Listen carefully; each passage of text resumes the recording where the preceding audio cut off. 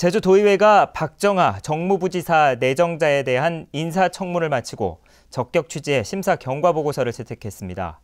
하지만 박 내정자의 보수 성향과 이명박 정부 대변인을 지낸 전력에 대한 추궁이 이어졌습니다. 박주연 기자입니다.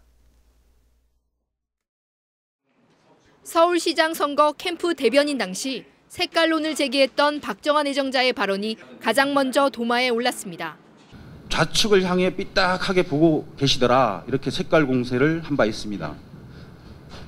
맞습니까? 혹시 임명이 된다면 그 중심을 잡고 일을 하도록 노력하겠습니다. 그러나 이미 5년여 동안의 청와대 생활이 있습니다. 선거와 공직자로서의 자세는 틀리다고 봅니다. 이명박 정부의 대변인을 지냈던 전력도 문제가 됐습니다. 의원들은 이명박 정부가 체결한 한미 FTA로 제주의 생명산업인 농업이 큰 피해를 입고 있다고 따졌습니다. 이명박 정부 시절에 저희 정부 때 체결되었습니다. 예, 예 체결할 때 동업 정책의 농업 분야에 대응책이 적절했다고 보십니까?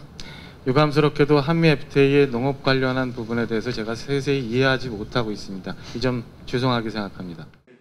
또 이명박 정부 시절 4.3 관련 사업에 암흑기였다는 일침이 가해지기도 했습니다.